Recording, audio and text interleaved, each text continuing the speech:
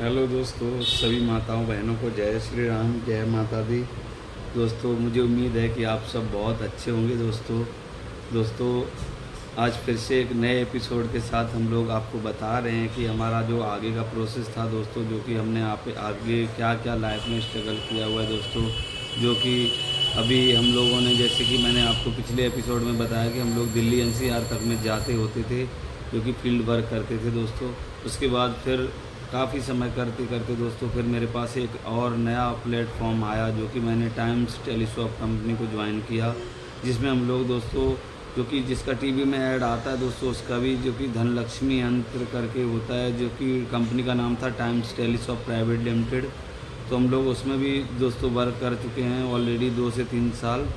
तो ऑलरेडी मैंने वहाँ पे भी दोस्तों हमारा एरिया हुआ करता था, जैसे कि गुड़गांव का ही सबसे ज़्यादा मैंने एरिया किया हुआ है। गुड़गांव में करीब देखा जाए तो मैंने पाँच से आठ साल करीब वहाँ पे मैंने वर्क किया हुआ है, गुड़गांव के अंदर दोस्तों।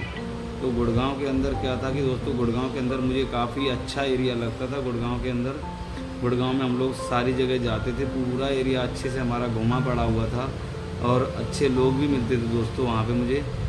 और हम लोग दिल्ली में मतलब पीरागढ़ी में उसका ऑफ़िस होता था, दोस्तों पीरागढ़ी से लेके हम लोग सुबह दस बजे से ऑफ़िस होता था हमारा स्टार्ट तो सुबह दस बजे से लेके और रात के दस बजे तक हम लोग फ़ील्ड पे रहते थे दोस्तों। दस बजे तक मतलब हमें रात को दस बजे तक हमें ऑफ़िस पहुँचना होता था क्योंकि लंबी ही ड्यूटी पड़ती थी दोस्तों फ़ील्ड में जाने का टाइम तो होता है, पर आने का कोई फिक्स टाइम नहीं होता है। तो उसमें होता क्या था कि दोस्तों जब हम लोग दस बजे आते थे तो हमारा मतलब हम लोग कहीं भी एरिया में चले जाते थे। दिल्ली में दिल्ली जैसे हमारे पास दो दो जोन रहते थे, जैसे कि वेस्ट दिल्ली हो गया आपका। वेस्ट दिल्ली में काम करते हुए, उसके बाद साउथ दिल्ली में काम करते थे, काम साउथ दिल्ली में करते हुए, उसके बाद फिर हम लोग जाते थे गुड़गांव में। गुड़गांव में कई बार तो ऐसा होता था दोस्तों कि हमें मानेसर की ड्यूटी डायरेक्टली पीरागढ़ी से निकलता था तो डायरेक्टली मानेसर की ड्यूटी मिल जाती थी। तो मानेसर में क्या था दोस्तों, करीब आप भी समझ सकते मानेसर काफ़ी लंबा रास्ता पड़ता पीरागढ़ी से, अगर आप देखेंगे तो काफ़ी मतलब समय लगता है वहाँ तक पहुँचने में। तो समय भी लगता है दोस्तों, और समय के साथ साथ दोस्तों, ये था कि मतलब वहाँ पे डायरेक्टली एक से डेढ़ घंटे मुझे गाड़ी अपनी रेगुलर चलानी पड़ती थी, और ट्रैफ़िक तो आपको पता ही है, दिल्ली एनसीआर में कितना होता है दोस्तों। तो ट्रैफ़िक भी होता था। तो हम लोग वहाँ से गुड़गांव से मानेसर ताबड़ू, रेवाड़ी तक भी हम लोग फ़ील्ड पे जाते थे। आप समझ सकते हैं कि बाइक से बंदा कैसे इतना फ़ील्ड पे आना जाना करता होगा दोस्तों। तो उसके बाद फिर हम लोग आते थे रिटर्न आते आते हमें मतलब रिटर्न आते आते करीब रात के दस बज जाते थे पर दस बजे ही हमें वहाँ पे ऑफ़िस में सब कुछ अपना एंट्री कराने के बाद फिर हम लोग वहाँ से निकलते थे घर की तरफ़। तो दोस्तों, एक दिन ऐसा हुआ कि हम लोग आ रहे थे रास्ते में, आते आते हमारे घर से हमारी वाइफ का फ़ोन आया था कि आपको कितना और समय लगेगा घर पर पहुँचने में, क्योंकि रात का करीब मैं बताऊँ आपको, पौने ग्यारह के करीब टाइम था।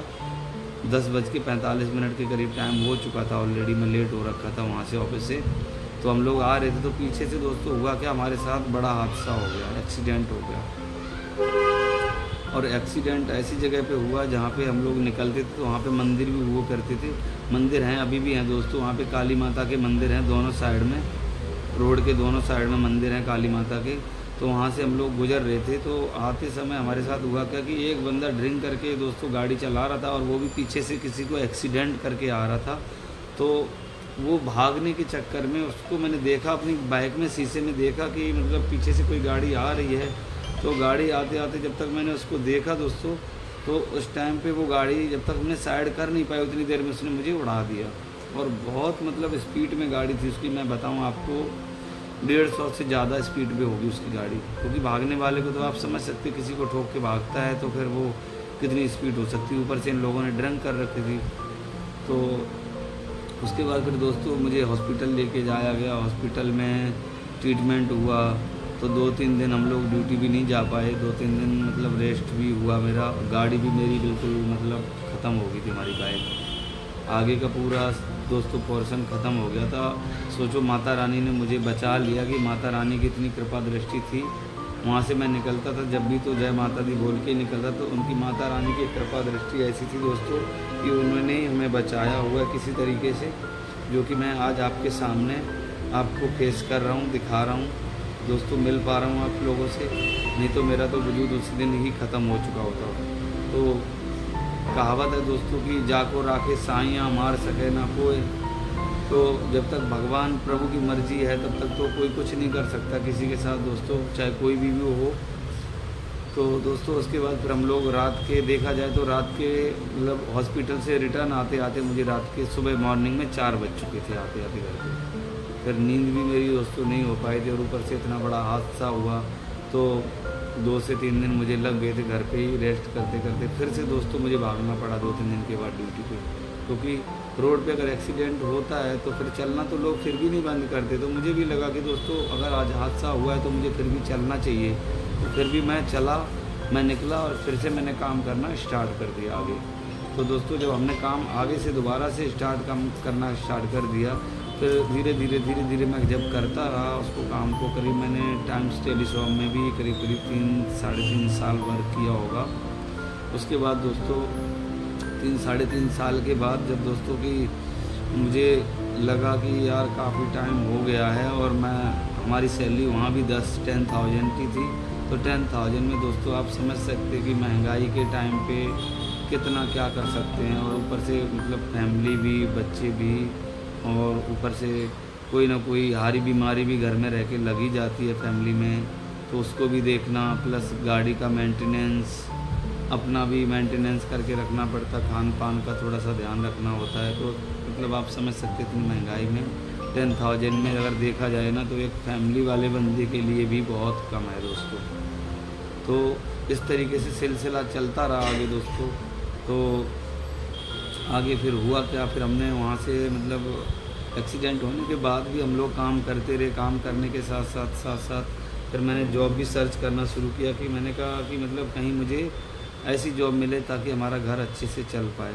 तो दोस्तों, मुझे मेरे पास एक लाइफ में आई एक कंपनी जो कि local solutions private limited local solution private limited आई तो उस पीरियड पे हुआ क्या कि हम जब हम लोग टाइम्स टेली शॉप से निकले तो निकलने से पहले दोस्तों हमारे पता चला कि मेरे फादर एक्सपायर हो गए हैं। फादर एक्सपायर क्या? फादर की हमारी काफ़ी टाइम से इलाज चल रही थी दोस्तों। और फादर की मतलब काफ़ी टाइम से इलाज चल रहा था तो हम लोग कई जगह दिखाया, जिसने जहाँ दोस्तों बताया हर जगह मैंने उनको वहाँ पे दिखाया और हर जगह दिखाने के साथ साथ दोस्तों, मैंने जब हर जगह उनको पिताजी को दिखाया अपने मैंने ये भी बोल दिया था कि दोस्तों, मेरे पिताजी के लिए मुझे चाहे कुछ भी करना पड़े लाइफ में, कोई मुझे ये भी बोलेगा ना कि मेरी भैंस है घर में तो उनका अगर आपको गोबर भी डालना पड़ेगा लाइफ में, पूरी ज़िंदगी तो मैं फिर भी डालने के लिए तैयार था कि मेरे पिताजी किसी तरीके से ठीक हो जाएँ। क्योंकि तो जब से मेरे पिताजी का हाथ छूटा है, हमारे साथ से साथ छूटा है, तब से मैं इतना अंदर से टूट गया दोस्तों, बहुत ज़्यादा टूट गया, बिल्कुल मतलब मेरा अस्तित्व ख़त्म हो गया था। फिर भी पिताजी की आत्मा मेरे साथ आज दिन तक हमारी सपोर्ट कर रही है। अभी तक पिताजी का, मेरे साथ पिताजी का जो हादसा हुआ था, उसके बाद मैं ओवर नहीं पाया था अच्छे से दोस्तों। उसके बाद फिर मैं जब लौट के आया तो मैंने लोकल सॉल्यूशन कंपनी को ज्वाइन किया। लोकल सॉल्यूशन कंपनी को जब ज्वाइन किया तो उसमें भी हमारा यही वर्क रहता था जो कि हम लोग आज वर्क कर पा रहे हैं। तो हम लोग वहाँ पे कैंडिडेट्स वगैरह का काम करते थे, लगाते थे, काम पे भेजते थे लोगों को फेस हमें ही करना पड़ता था, सारी जगह जाना आना पड़ता था। तो दोस्तों, उन लोगों की कुछ ऐसी प्रॉब्लम थी कि उन लोगों ने काफ़ी स्टाफ की पेमेंट रोक रखी थी, नहीं दे पा रहे थे। वो लोग, जब भी किसी की पेमेंट आती थी तो वो लोग इन्जॉयमेंट करते थे और चीज़ों में खर्च करते थे। मतलब लेकिन जो स्टाफ की सैलरी जो ऑफ़िस के वर्क जो आपको कमा के दे रहे हैं, उनकी पेमेंट नहीं रोक मतलब नहीं टाइम से दे पा रहे थे, दे ही नहीं रहे थे दोस्तों। आज दिन आज दिन तक भी अगर मैं बात करूँ अपनी तो आज दिन तक भी मेरे थर्टी थाउज़ेंड तीस हज़ार रुपये दोस्तों, समझ सकते एक मतलब गरीब इंसान के लिए तीस हज़ार रुपये आज दिन तक हमारे हैं कंपनी के पास, और कंपनी बंद हो चुकी है। कंपनी के ऑनर का भी पता नहीं है दोस्तों। तो हम लोगों ने मेहनत किया था इस, ये सोच के कि चलो दोस्तों, कि कंपनी आगे बढ़ेगी तो हम भी आगे बढ़ेंगे। कभी भी हम लोगों ने उसका टाइम नहीं देखा, कोई भी टाइम नहीं देखा कि चलो हमारा मतलब मैं इतना टाइम लगा रहा हूँ, क्यों लगा रहा हूँ?